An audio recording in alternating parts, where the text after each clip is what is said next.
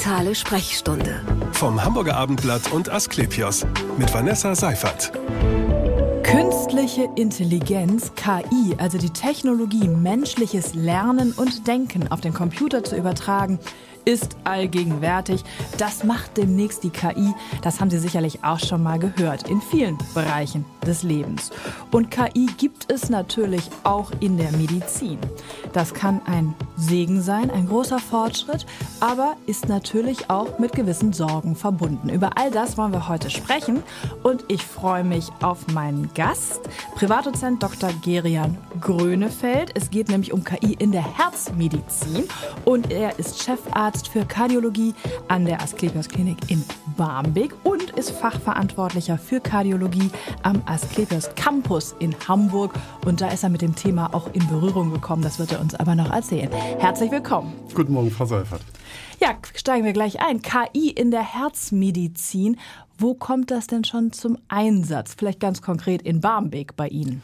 Ja, eigentlich ist das Thema nicht neu. Das muss man fairerweise sagen. Die ersten Publikationen sind ja von 2000, 2005. Insofern ist das ein Kontinuum. Mhm. Und es gibt nicht einen Generationenbruch. Bis dahin keine KI und ab morgen KI, sondern die Technik entwickelt sich speziell in der Kardiologie sehr, sehr, sehr, sehr rapide.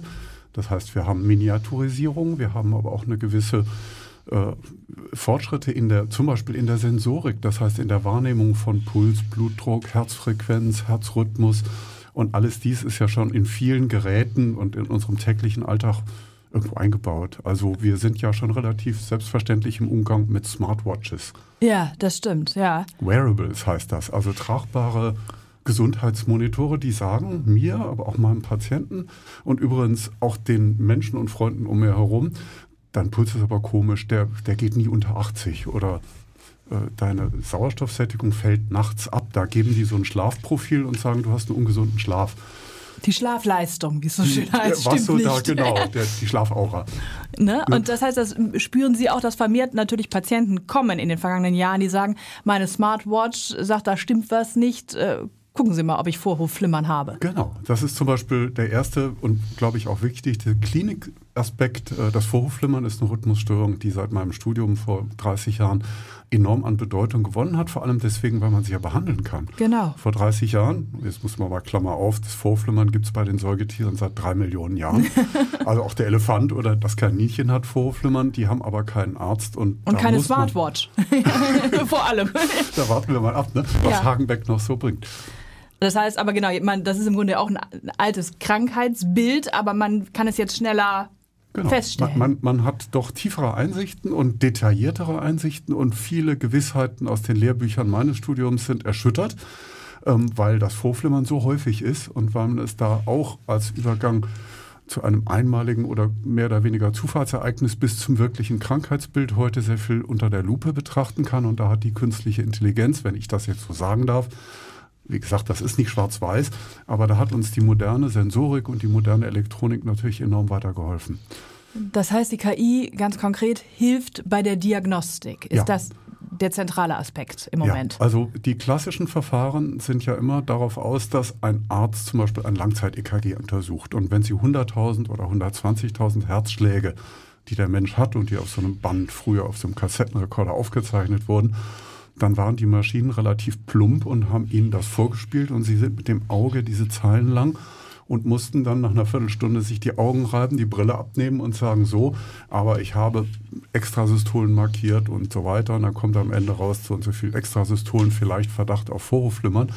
Alles das nimmt einem die Automatik heute schon weitgehend ab. Ja. Wobei man sagen muss, in Deutschland sind der Fortschritt ist eine Schnecke. Das hat schon Günter Grass gesagt. Das ist aber ähm, tatsächlich in der Medizin durch starke Regulatorik. Also wir sind ja mit Zulassungsverfahren äh, belastet, kann man fast sagen, mhm. die solchen Innovationen oft im Wege stehen. Das heißt, in den USA ist man, ist man natürlich weiter, da werden Tools vielleicht schneller ausprobiert. Wissen Sie das von Nein, Kollegen? Aber Nein. die großen Player in der AI, also Google, ähm, ja. Microsoft, die alle übrigens völlig unabhängig voneinander das Thema beackern und ja auch sehr stark in Konkurrenz stehen. Und nicht jede von diesen großen Firmen konzentriert sich auf die Medizin, das muss man auch sagen. Aber auch in den USA gibt es die FDA-Zulassung. Mhm. Und natürlich muss ein, sage ich mal, EKG-Gerät oder auch ein Röntgengerät oder ein Fotoanalysegerät, was in der Pathologie die kleinen Schnitte der, der Brustkrebspatienten untersucht, zugelassen sein, damit nicht zu viele Fehler entstehen. Denn die KI ist ja irgendwo auch fehleranfällig. Genau, man muss es natürlich kontrollieren, das ist, das genau. ist klar. Da kommt der Mensch wieder ganz am Ende der Kette. muss man natürlich jetzt mal zurück, das EKG, wenn das da sehr schön vor, vorausgewertet ja. ist, dann geht man visuell nochmal jede Clustergruppe von Schlägen durch.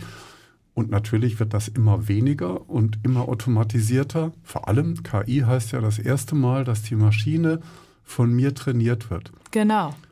Wenn Sie ein Sprechdiktiersystem haben, dann fangen Sie an und diktieren auch medizinische Texte und er schreibt ziemlich viel Kauderwelsch. Wenn Sie auf Ihre Sprache und auf Ihre Fachwörter trainieren, dann ist beim zweiten, dritten, vierten Mal dieser Fehler nicht mehr da. Und das ist das Tolle bei, in Anführungszeichen, dieser vierten industriellen Revolution. Ja. Die Maschinen lernen, aber sie müssen irgendwo vom Menschen immer wieder korrigiert sein ich habe mal äh, den Spaß gehabt, auch wir hatten ein Symposium über KI, dann stand Google, nicht Google, sondern frag mal KI, was über dich selber bekannt ist. Und da kommen zum Teil ganz groteske Fehler raus. Und ja, was war man, über Sie bekannt? Nein, was dann, Sie noch nicht wussten. Ja, ich habe eine äh, Namensvetterin, die ist im Tennis nicht ganz unbekannt, Ach jedenfalls so. aus der Vergangenheit, so richtig bis zum äh, World Cup hat sie es nicht gebracht, aber ähm, da steht plötzlich, Gerian Grönefeld ist ein super Tennisspieler. Ich habe noch ja. einen Schläger in der Hand gehabt. Aha, ja, das heißt also, man muss das natürlich kontrollieren und darf sich nicht blind verlassen. Und wie lange dauert es, würden Sie sagen, bis der KI-Kollege dann ausreichend trainiert ist, um EKG auszuwerten? Ähm, böse gesagt, das, das wird nie zu Ende sein. Also mhm. man muss immer auf, der lernt ja aus der Vergangenheit. Ja. Also Innovation oder lustige Ideen äh, entstehen meistens grob fehlerhaft. Gucken Sie sich ein KI-generiertes Foto an. Die machen ja romantische Fotos oder Flusslandschaft mit Huhn. Und plötzlich sieht man die Menschen dann fünf Finger, äh, sechs Finger und sieben Zehen. Also da kommen ganz absonderliche Fehler raus, obwohl diese Systeme schon sehr trainiert sind. Wir Menschen erkennen mit einem Blick, dass dieses Bild nicht ganz echt ist und jetzt muss man sagen, in den letzten fünf Jahren hat sich ja diese Bildgeneration, das kann jeder kontrollieren, so viel verbessert, dass man nur noch ganz wenig korrigieren mhm. muss. Aber nie, also ich würde mich nie auf die KI, auf, auf Algorithmen, das sind ja komplexere Algorithmen. KI ist mehr als ein Algorithmus. Er ist ein selbstlernender Algorithmus, aber man darf sich nie darauf verlassen. Und was ist dann aber der entscheidende Vorteil, wenn man es ja doch noch selbst kontrollieren muss? Ist es dann die Zeitersparnis, dass man sagt, die KI kann diese Bildgebung schneller analysieren, als man selbst das könnte? Zweierlei. Also einmal ja, die Zeitersparnis ist enorm. Das, davon versprechen wir uns auch wirklich in der Medizin am meisten. Ja. Zum Zweiten ist die Qualität besser. Mhm. Ja, also die kleinen Fehler und Konzentrationsmängel, die der Mensch eben hat, wenn er am Tag 100 Röntgenbilder betrachtet, im ja. Dunkeln und schwarz-weiß, äh, dann geht einem irgendwo nach drei Stunden die Konzentration mal für wenige Sekunden verloren und zwei Bilder sind nicht richtig befundet. Das passiert der AI, also diesem künstlichen Analysesystem, nie. Die ja. sind unermüdlich. Ja, gut, das stimmt. Und ähm, genau, genau, man muss also weiter drauf gucken. Und die Zeitersparnis, haben Sie gerade gesagt, ist ein Vorteil. Wie lange brauchen Sie zum Beispiel, um so eine Bildgebung zu analysieren, zu befunden? Und die KI im Vergleich, um mal jetzt diesen, diese Zeitersparnis zu konkretisieren? Also bei, bei so Smartwatches ist es ja ganz einfach, weil die situationsbezogen überhaupt nur alarmieren oder aufzeichnen. Das heißt, da würde man ja normalerweise drei, vier Tage Langzeit-EKG haben, um überhaupt ein Ereignis mal erspähen zu können. Das geht natürlich schnell, wenn der Patient sein oder die entsprechenden tragbaren Monitore, die gibt es inzwischen auch für ambulante kardiologische Einsätze, die sind zugelassen. Mhm. Und werden übrigens auch neuerdings in Einzelfällen von Krankenkassen bezahlt. Ist ja der dritte Bereich. Also erstmal technisch funktionieren, zweitens zugelassen, drittens finanzierbar. Ja. Aber da gibt es schon viel, was uns hilft, wo wir sagen, aus der Geschichte des Patienten können wir Rhythmusstörung nicht genau zuordnen. Und da ist wirklich ein Blitzlicht, ein Schnappschuss, wo die, die Rhythmusstörung selber aus, aus fünf Tagen oder zehn ja. Tagen genau rauskommt und man kann das EKG angucken und dann ist die Diagnose relativ klar. Das ist ein Riesenzeitersparnis. Ja. Ich sag mal, in so Bildgebung wie Herzkatheter. Da haben die automatischen Algorithmen auch schon Eingang gefunden. Das sind ja auch komplexe Bilder. Da ist das aber noch nicht so. Die Quantifizierung muss man immer noch mit der Hand korrigieren. Okay. Auch wenn sie die Pumpfunktion im Ultraschall maschinell machen, dann mhm. ist da so viel Graubereich, dass es immer noch den Doktor braucht, der diese Linien mit Punkt zu Punkt ein bisschen korrigiert. Trotzdem sind die Werte, wenn sie vom gleichen Untersucher dann validiert, wie wir sagen, also überprüft werden, in sich sehr gut vergleichbar und natürlich ja ein bisschen quantifizierbarer, ein bisschen präziser als früher, wo man so gesagt hat, die Pumpfunktion ist nicht so dolle. Okay, okay. Und heute sagt man 37 Prozent und ist damit relativ präzise. Mhm.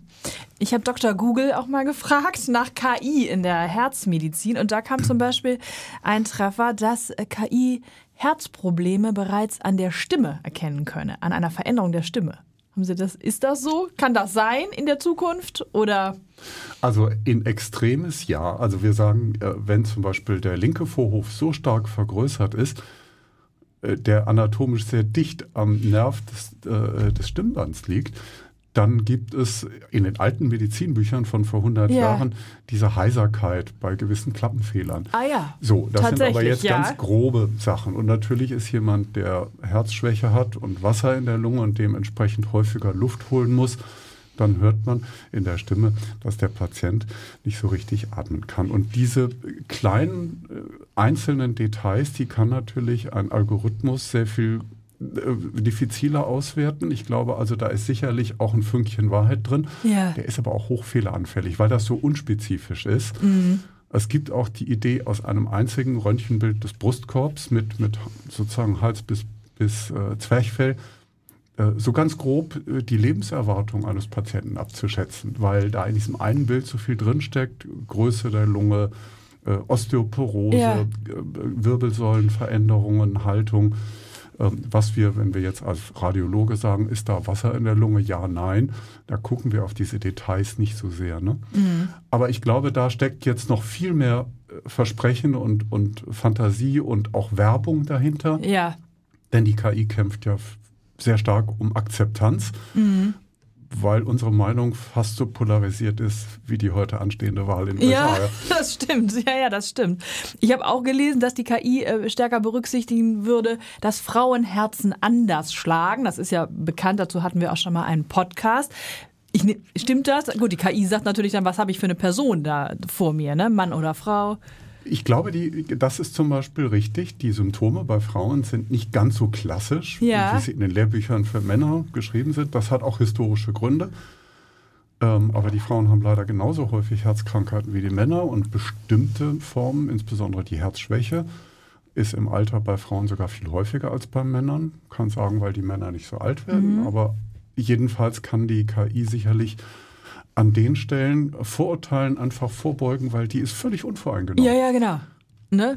Jeder Mensch ist irgendwo geprägt durch sein Umfeld und durch seine Erziehung und wir sind nun mal alle über die noch sehr, sehr männerlastigen äh, Medizinstudien gelaufen. Das mhm. ist heute mit Offenheit für, für Gendervielfalt natürlich auch im Studium und in der Ausbildung und in der Datenpräsentation von Gesundheit in der Bevölkerung sehr viel offener, als das zum Beispiel in diesen Studien war. Damals hat in den USA in den 50ern ein kleines Dorf in Massachusetts Geschichte geschrieben, das ist Framingham. Das ist eine Stadt oder ein Dörfchen, die rausgesucht wurden, weil sie sehr repräsentativ waren in Alter, Geschlechtsverteilung, Einkommensverteilung für Amerika als ja. Ganzes.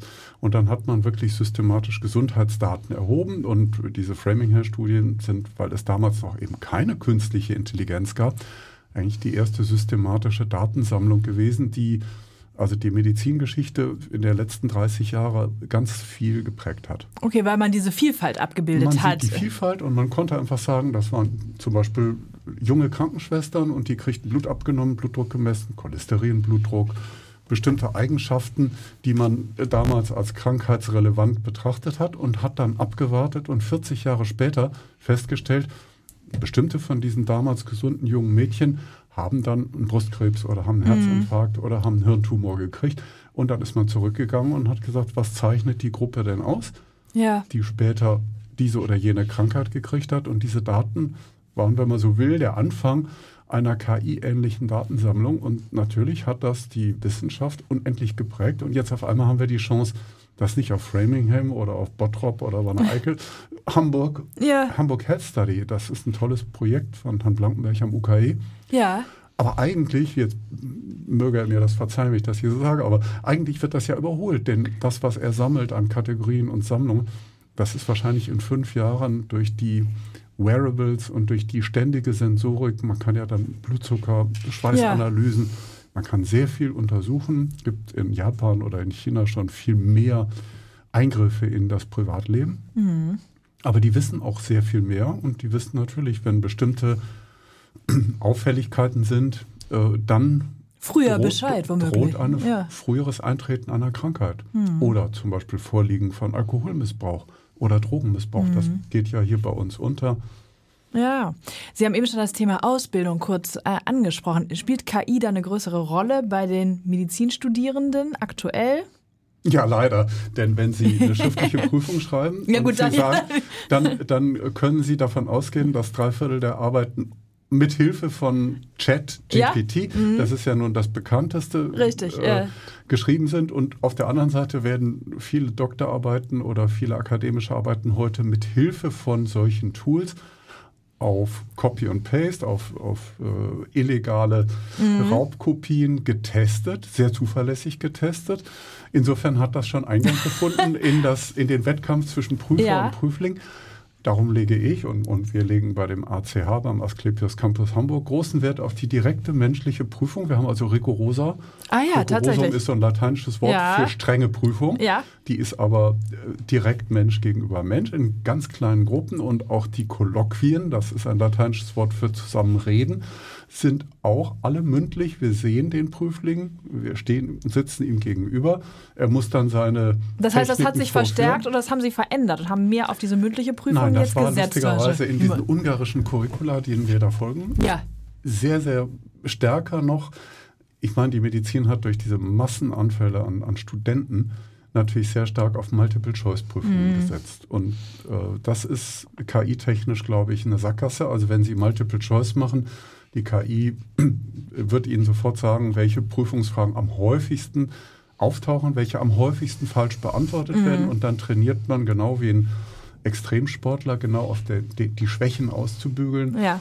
Also da wird dann das Prüfungsergebnis verfälscht, denn das, was die dann am Ende reproduzieren, ist ja nicht das klinische Wissen, sondern ist ja abgelesenes, äh, die fünf häufigsten Symptome irgendwelcher Ja. Kolibri-Erkrankungen.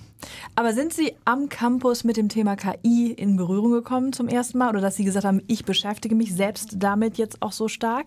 Ja, das äh, verdanke ich ehrlicherweise einer ganz tollen Initiative von Dr. Thiel, der das äh, der hier in Hamburg dieses Asklepios Medical School Team leitet und der ein sehr spannendes Symposium letztes Jahr veranstaltet hat mit, mit hochrangigen Referenten. Das waren Podiumsdiskussionen aus, aus äh, ganz Deutschland, kamen Experten zum Thema Bildung, KI, Ja. weil das Thema so heterogen ist, man hat ja da eine Ver Begriffsverwirrung. Also jeder denkt, äh, KI ist, wenn das Auto automatisch in den dritten Gang schaltet oder sowas. Autonomes Fahren ist aber mehr. Und wir müssen, glaube ich, die Studenten sehr früh darauf vorbereiten, dass spätestens in deren Zeit, wo die dann Ärzte werden, in Genau. zwei, drei, vier, fünf Jahren, dass dann KI in einer ähm, Häufigkeit auch von der Industrie auf die jungen Ärzte zugetragen wird, dass man sehr genau unterscheiden muss, was darf ich denn sinnvoll verwenden. Zum Beispiel ja, Bildtechniken für Röntgen. Ja. Nach bisherigem Ermessen auch Laboranalysen werden differenzierter. Wenn Sie heute über so ein Feld gucken, dann ist da rot markiert, was aus dem Rahmen fällt. Da kann man erstmal sein Fachwissen testen. Was bedeutet es denn, wenn MCV größer 100 ist? Die KI nimmt das ab und sagt, hier ist eine Auffälligkeit im Blutbild, die spricht für einen Eisenmangel oder eine chronische Ja. Blutung. Das sind also Riesenvorteile und denen kann man, glaube ich, auch vertrauen. Aber wenn jemand sagt, ich habe, also KI hat Anamnese erhoben, hat mit dem Patienten ein Pseudogespräch geführt, ich sage bewusst Pseudogespräch, Ja. der Patient denkt ja, er wird abgeholt. Wenn die KI sagt, ja, wie geht's uns heute? Ja, ja, ja.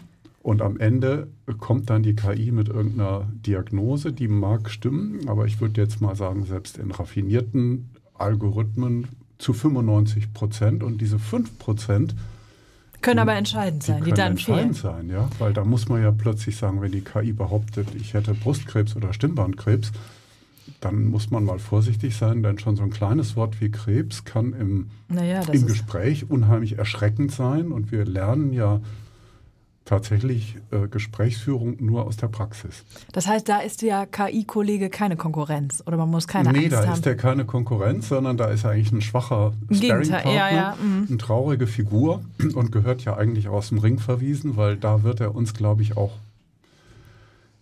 nicht richtig ersetzen können. Ich sage das mit Vorbehalt, weil ja. die großen Propaganda, äh, die, die, die auch Wortführer der KI sind, die sagen, es wird immer mehr sich die Intelligenz, ich meine, Intelligenz auch ja, bei ja. Menschen ist vielschichtig, ne? aber immer mehr die künstliche Intelligenz annähern. Und wo ich das gerade so sage, denken Sie mal, die natürliche Intelligenz ist ja auch nicht einschichtig. Wir mhm. haben praktische Intelligenz. Ja, richtig. Ja, ich war neulich im Urlaub einen halben Tag bei einem Orgelbauer und habe geguckt, wie der so Pfeifen aus Holz macht. Wahnsinn. Das war kein Akademiker und das war auch kein Mensch, der wahrscheinlich ein Einser-Abi hatte. Da gibt es mathematische Nerds, die ja. gelten als intelligent. Inselbegabungen heißt das doch so schön. Inselbegabung, Inselbegabung. wenn man eine Sache genau. besonders, besonders gut kann, ich guck, aber vieles gerade auf die Insel Sylt. ja. Die hat auch eine Inselbegabung. ja, sozusagen, genau. Also und äh, wo Sie da gerade sagen, die KI kann im Grunde das Gespräch ja nicht ersetzen mit einem Arzt des Vertrauens. Das wäre ja auch was, wo ich denke, dass Patienten vielleicht auch gar nicht mit einer KI sprechen wollen, weil ja jetzt schon immer in der Kritik steht, dass die sprechende Medizin, wie es so schön heißt, zu kurz kommt, dass die Ärzte zu viel Verwaltungsarbeit machen müssen, gar nicht mehr so viel Zeit sich nehmen können für den einzelnen Patienten. Ja, also mit Sicherheit, wenn Sie ein KI gegenüber haben, also eine synthetische Stimme, die, ja. die ihre, äh, ihre Antworten aus dem unendlichen äh, Blödsinn des vergangenen Internets schöpft, dann werden sie an irgendeiner Stelle hellhörig. So wie man auch bei manchen Gesprächspartnern, die, die eine Macke haben, irgendwie, sag ich jetzt mal so salopp, ja. Menschen haben ja auch manchmal Kanten und, und Macken. Ja. Das merkt man ja auch. Richtig, und sagt, ja. da ist der aber komisch, da ist der eitel, verletzt. Gibt es ja auch bei Ärzten, dass man, mhm. ne, der Klassiker, man geht zum Arzt und sagt, ich hätte, ich schätze Ihre Meinung, aber ich möchte mir gerne noch eine zweite Meinung bei einem anderen Arzt Richtig, holen. ja dann ähm, würde die KI wahrscheinlich monoton ergänzen, das ist ihr gutes Recht. Ähm, Im Dialog mit seinem individuellen Arzt merkt man viel feiner, wie der oder die, also Ärztin, ich jetzt als Arzt, aber wie auch Ärztin, durch solche Fragen vielleicht beeinflussbar sind. Und, ja. Also ich denke schon, der Mensch sucht immer den Menschen als Gesprächspartner. Das ist auch, auch gut so. Was würden Sie sagen, in welchem Bereich der Medizin ist die KI schon am stärksten vertreten? Äh, mit Sicherheit in der Radiologie. Ja. Mhm. Das ist ein sehr gut bezahltes Feld. Die ähm, Untersuchungen werden weltweit gut vergütet. Dementsprechend gibt es einen sehr schnellen Zyklus an Innovationen. Wir haben in den Röntgengeräten, ja, können Sie selber hier in Hamburg in jeder Röntgenpraxis sehen, ähm, nahezu alle paar Monate komplett neue Geräte. Achte Generation, neunte, mhm. zehnte. Das ist mit Sicherheit der Bereich, wo, ähm, wo man auch den Ärzten am meisten Unterstützung durch die KI jetzt erstmal an die Hand geben ja. kann, wo aber auch, befürchte ich, am ehesten Einspareffekte auch im Bereich der Ärzteschaft zu. Ja, natürlich, das ist ja auch immer die Frage, nimmt die KI mir den Job weg? Nicht nur in der Medizin, aber in anderen Bereichen ist das ja auch eine Frage. Ne? Und bei so Bildbetrachtungssoftware mhm. könnte ich mir vorstellen, dass das die ersten Bereiche sind, wo man sagt, das kann die KI und das können dann Ärzte validieren, aber in größerem Umfang, als sie bisher Röntgenbilder betrachtet haben. Und da ist vielleicht eine Personaleinsparung schon sehr nah am Horizont. Also ich würde sagen, bei anderen Fächern kommt es vielleicht auch zu Einsparungen. Ja. Ähm, unsere Medizin ist unendlich teuer. Und wir dürfen nie denken, dass die KI nur in eine Richtung wirkt, die macht alles besser und schöner, sondern natürlich ist Hat die auch Nebenwirkungen. Ja. auch ein Schuss nach hinten. Und in der in der Hinsicht muss man natürlich auch immer wieder die ärztliche Ethik reinbringen. Genau, die Frage der Ethik und die Fragen der Grenzen da, ne? Und der Grenzen. Man kann es nur nicht vorherbestimmen. Mhm. Also wenn jemand äh, zu Beginn des Fließbandzeitalters, das war die zweite industrielle Revolution, gesagt hätte, was bringt uns das, dann hätte man am Anfang nur gesagt, das ist fantastisch, weil anstatt zehn Autos laufen da 100 vom Band. Und die Monotonie und die Verödung, die die Menschen dann im späteren, in Folge dann erlebt haben, die war natürlich dramatisch. Klar, also, die hat man da natürlich nicht abgesehen, weil man erstmal. wollte man das ausblenden. Natürlich, weil man den Fortschritt nur sehen wollte und die Produktivität genau. natürlich. Ne? Was kommt denn in der Herzmedizin als nächstes in Sachen KI? Was würden Sie sagen? Da glaube ich, ähm, sind die, die, also Herzmedizin ist sehr komplex, wenn wir einzelne Patienten auf ihr Risiko für bestimmte Krankheiten in zehn Jahren beurteilen müssen. Also Check-up. Ja. Sie kommen als gesunder Mensch, 40 Jahre, und sagen, ja gut, ich habe die vier rund. Jetzt ist macht man sich langsam Gedanken, wie geht das weiter? Und dann ist man bis jetzt noch auf sehr plumpe Methoden angewiesen. Man macht einen Ultraschall, ein Belastungs-EKG mhm. und ein, wichtig, ein sehr gründliches Gespräch über die Erbrisiken, ob die leiblichen Eltern, wenn man sie kennt, Herzkrankheiten hat, wie der Lebensstil ist, ob man raucht oder nicht. Ich glaube, die Modelle sind sehr, sehr komplex. Die gibt es gar nicht so in 1 plus 1. Man sagt ja dann immer ein Risikoscore. Das heißt 5% oder 30% Wahrscheinlichkeit an Herzkrankheiten zu versterben. Das kann die KI mit Sicherheit in wenigen Jahren relativ gut.